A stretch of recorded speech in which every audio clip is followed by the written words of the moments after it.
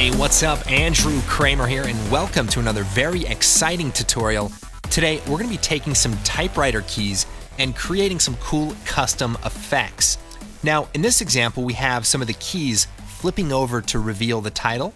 And of course, it's all 3D. We're going to be using our plugin Element 3D inside of Adobe After Effects, along with the free typewriter model pack that you can download right now. So let me just show you a couple of these different examples.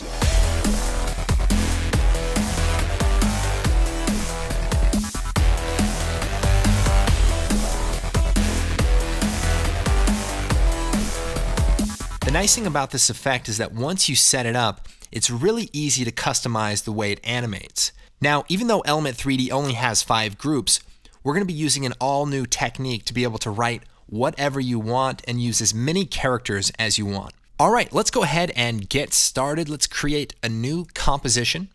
We'll call this title, hit OK, and let's create a new solid. And we'll call this E3D. Then we'll choose Effect, Video Copilot, Element. Then we'll jump into the scene setup.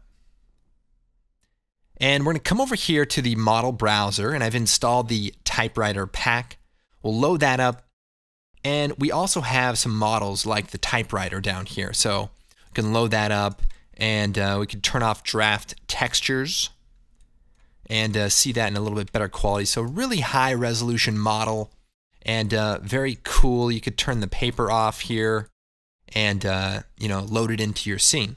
Now, we've also included a couple of other objects that have different skins. So basically, these characters have all these sub characters as well. And some of these other ones actually just have the characters by themselves. And that way you can use them as a title treatment or whatever. Okay, that's what's included in the typewriter pack. Let me go ahead, delete that, and remove the unused materials. So that's just going to clear our scene out. So now I have a clean project. So let's spell out the word type T, Y, P, and E. Now I've added the four objects into my scene. Now currently there are four different materials. What I want to do is unify all of the materials into one material. So the way I'm going to do that is right click on one of the materials and let's choose apply to all. And that's going to apply this material to all the objects in our scene. Then we'll remove the unused materials, which will delete all of the extras. So now we only have a single material that we need to manage. The one thing that we've also included is some different skins. So in this case, I want to change the skin from the skin with the sub characters and add the skin with the nice big bold letters. So what I'll do is I'll click on the material, load up the diffuse, now, instead of using the default texture, I'm going to switch it out. So we're going to click on the texture, and now we can load a different one. There's one called Typewriter Keys Diffuse Big, and you can see there's some big characters on each of the keys. We've also included the version that doesn't have anything on it, so you can actually open that up in Photoshop and then add your own font or add your own characters as well. So we'll go and hit open, and that's going to swap it out. So now look at our characters, nice, bold, lettering. So the other thing I want to check out is uh, maybe play around with some of the settings. So we can scroll down here and maybe turn up the shininess. So that's going to just increase the specular highlight. Let's see, turn that up a touch. Now I also want to change the reflectivity by swapping out the environment map as well. So we'll click on that and let's load, say, the studio environment.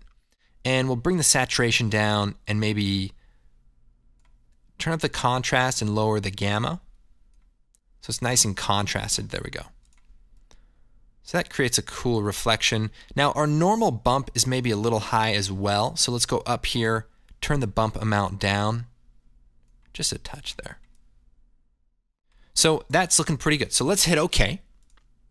Now let's jump into group one, go to the particle look, and we're going to rotate the particle to face the camera. So let's turn the X rotation up to 90 degrees. Okay? Now, here's the cool trick to getting these characters to spell out the word correctly. Let's go to the particle replicator and set the replicator shape to a 3D grid. And then we're going to set the Y and Z down to 1. And right here, we can see we have three particles, but the word that we picked actually has four. So we'll set it to four, and we'll scale the shape up a little bit, and maybe come down to the particle look, and scale the size of the objects down.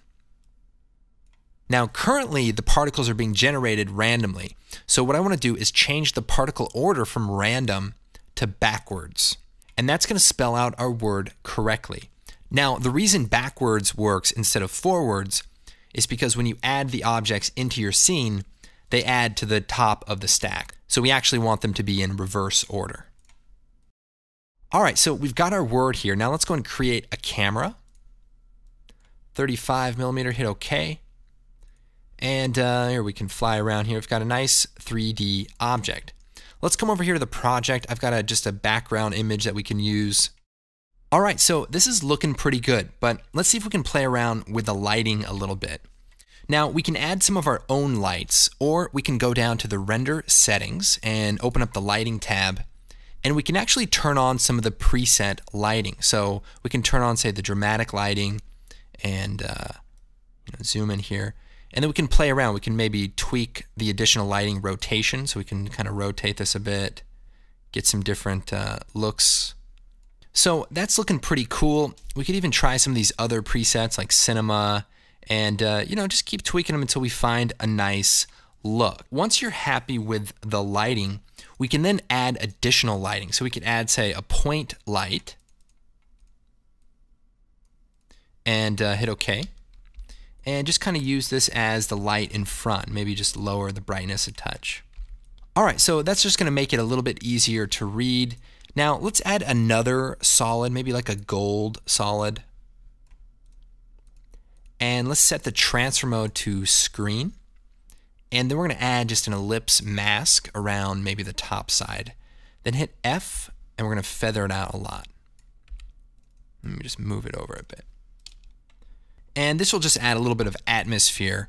I'm also going to add an adjustment layer with some curves and maybe a tint effect. Tint is at the bottom there.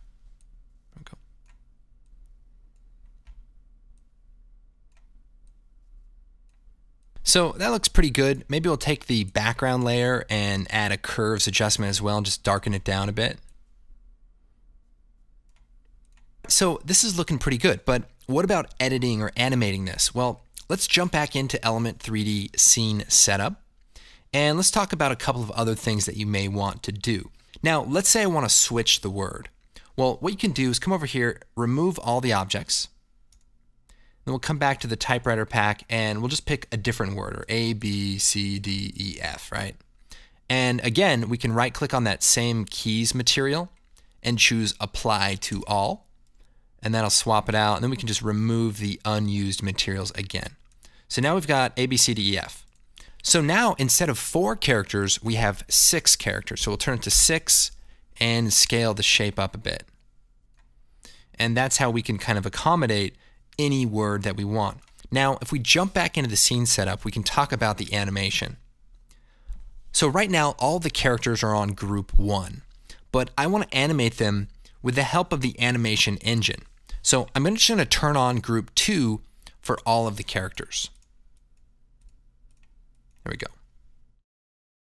Now that I have group one set up, I can actually go to the group utilities, open up the copy paste function, copy the settings, then go to group two and paste the settings.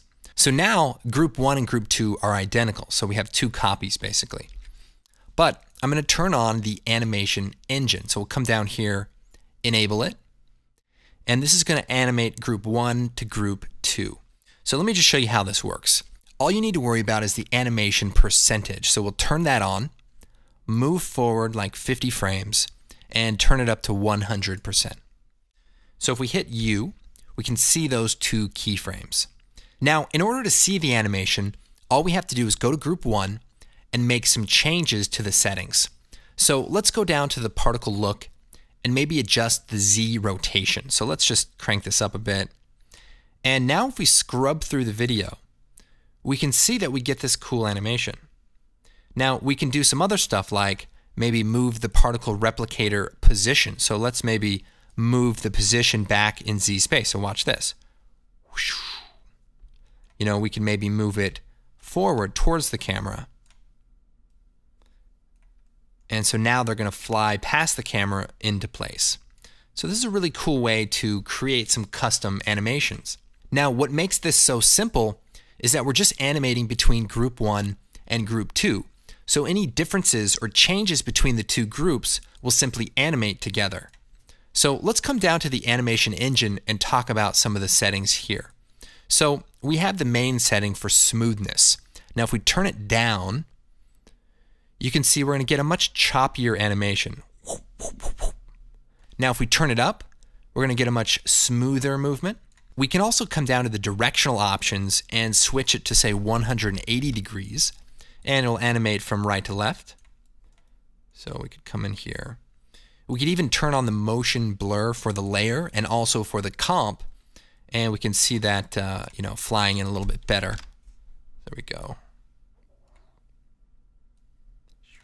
Now another fun thing we could do is on group one, let's go to the particle look and turn up random rotation. So check this out.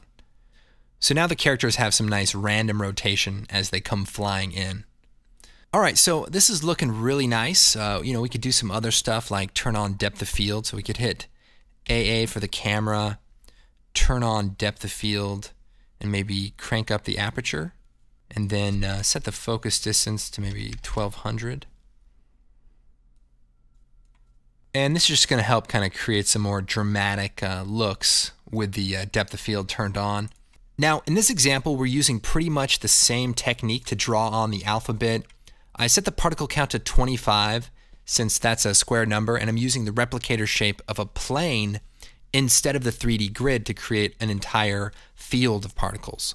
The only difference is I've actually set the animation type to shape order instead of directional, which will draw them on in the correct order. Now, you may not believe it, but I recently did something nice for my wife, and I made her a little charm bracelet. And, uh, you know, I gave her a thumb drive with it and the project file. She had to download the After Effects trial to look at it.